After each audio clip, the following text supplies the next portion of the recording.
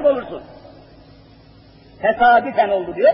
Tabiat yarattı diyor. Doğa yarattı. Doğa doğa doğa. Allah seni boğacak kahredecek bu şekilde.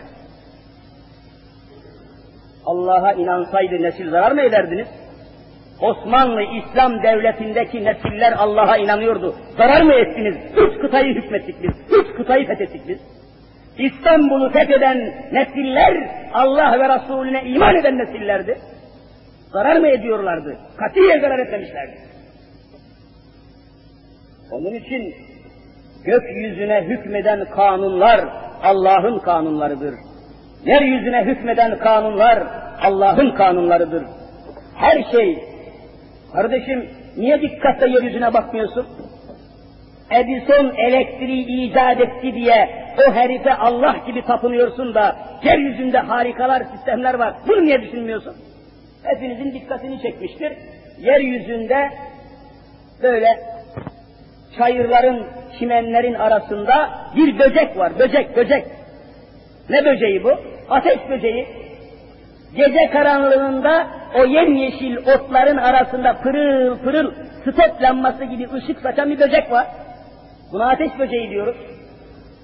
Bu hayvan öyle bir harika sistemle yaratılmış, yere atılmış ki, bugün hiçbir elektrodinamik sistemi, hiçbir elektrotekniker, hiçbir fen, hiçbir fizik adamı bunu anlayamıyorlar. Yahu ne iştir bu? Bu ufacık, küçücük ateş böceği topraktan aldığı gıdaları, kimyasal enerjiyi elektrik enerjisine çeviriyor, arka tarafta pırıl pırıl voltajıyla bir ampul gibi elektrik teşlediyor. Kimya enerjisini elektrik enerjisine çeviriyor.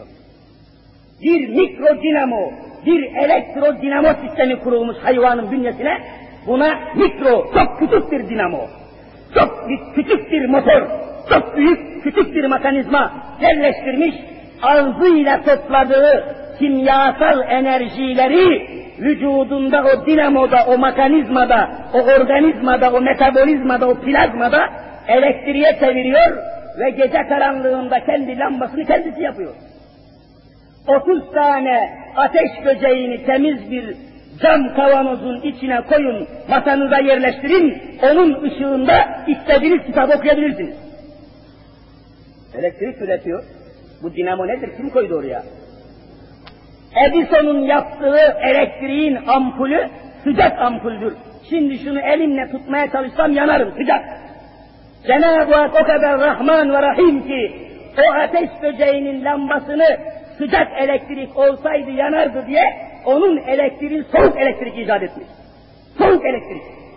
Daha bugün yeryüzünde hiçbir teknisyen, hiçbir fikir adamı, hiçbir teknoloj, teknolog dediğimiz insanlar soğuk elektrik yapmayı vallahi bilmiyorlar. Ateş böceğinin elektriği soğuk elektriktir. Soğuk dinamodur. Pırıl pırıl voltajıyla elektrik yandığı halde o sıcak elektrik değil, soğuk elektriktir. Sıcak olsaydı o hayvan rahatsız olurdu, yanardı diye Rahman ve Rahim olan Allah onu soğuk elektrik icat etti. Niye bunlara bakıp da Allah'ın varlığını anlayamadılar?